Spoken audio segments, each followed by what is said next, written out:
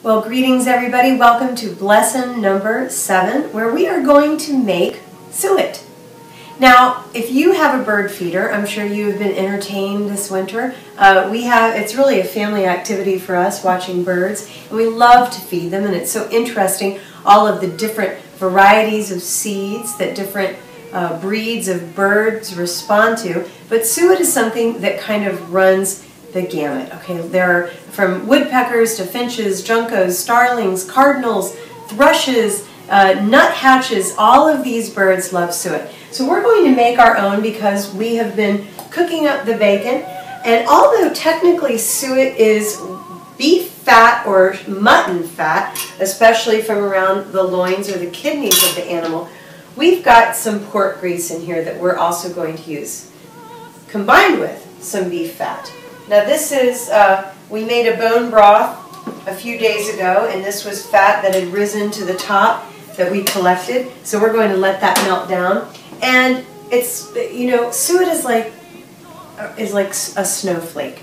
No two suets are alike. And so whatever it is that you have handy, you can pop in there and the birds are going to love it.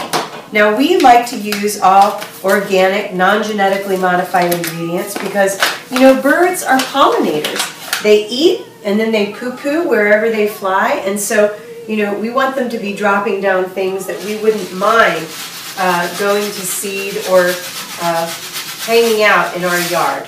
We're going to put some organic oats in here. Would you like to come over and take a look, take a close look at what we're doing? Uh, got these organic oats. Also, we grew sunflowers in our garden, so we're going to use some of our own sunflower seed. And this is especially something that I would love for these little guys uh, to drop because sunflowers, of course, are good for all sorts of things. Now, they love unsalted nuts. Of course, it's winter time. Those little guys are burning off a lot of calories. So suet is just basically, you know, it's just fat, and then we pack a lot of fat things into it and makes those birds so happy. So we're going to add some, they're actually roasted though. We have roasted these pecans, but you can certainly use raw. Raisins, I'm going to give a little bit of sweet to it. And you know, it's interesting, this is called suet the mixture, but technically suet is a 14th century word of Anglo-French origin that is derived from the Latin word sebum, which meant tallow or grease, or, or grease or fat, excuse me. Um, no, no, tallow. Sebum meant tallow or grease. And you know what's interesting is that, actually I want to mention this here, this is corn from our garden. We grew this corn. And this was, uh, these were some ears that we did not harden off properly. Uh, so we're going to put these to good use. We're of course going to be using these, uh, actually this is popcorn, which we'll be talking about in a later lesson as we make some delish Pennsylvania uh, popcorn. But this right here is going to go into our suet. So anyhow, uh, this mixture is of course called suet, but technically suet is specifically referring to that tallow or grease. What's interesting is that back in the day, the common folk would really use uh, rendered suet, which would become tallow, for candles. Now, they did not smell that nice, and they made a lot of smoke. But hey, they provided light, and of course, light was an extremely precious commodity, especially in the winter time. So I like to think that what we're beginning to uh, smell here would have been an odor, an aroma familiar to noses uh, hundreds of years ago, and that's that's an exciting thought.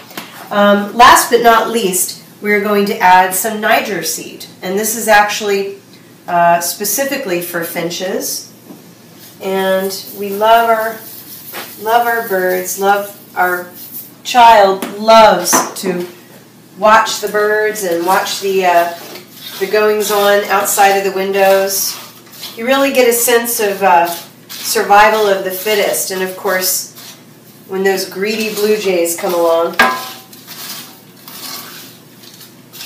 what it means to be a smaller but faster, and certainly what it means to have a pretty song. So, we're going to let that do its thing here for just a moment. And then we will, if you haven't already seen this, we're going to put this into our muffin tin lined with, this is a wonderful company. It's called, it's, the company is called If You Care.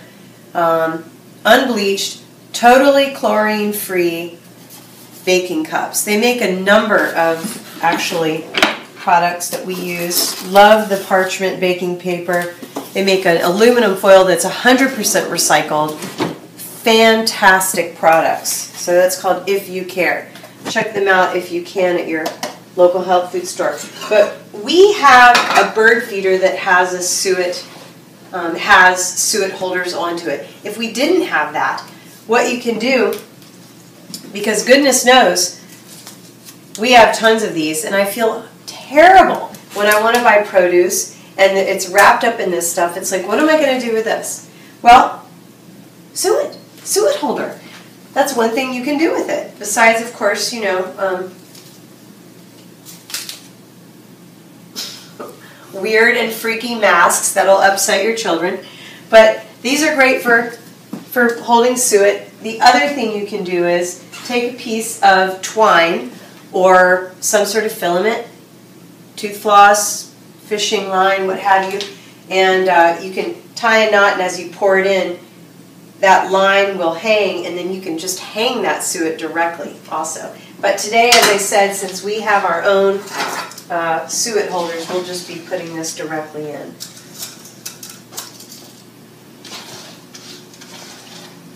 Mm.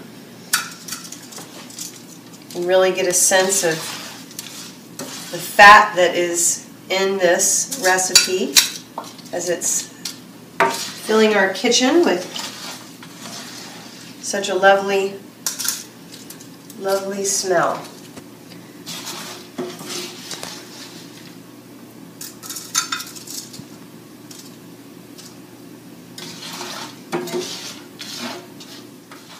Okay, all right. So we've got made 12 perfectly. We've got that all packed in. We're going to let that harden overnight, probably put it outside so it'll get all nice and ready for the feeder. And that's going to hopefully attract lots of sonorous friends. Uh, and you're included in that bunch. Thank you very much for tuning in to this lesson. Uh, we in the Backyard Revolution family say Thank you and send all of our warmth your way. So we'll see you next time. My name is Adrienne Young Ramsey. Thank you.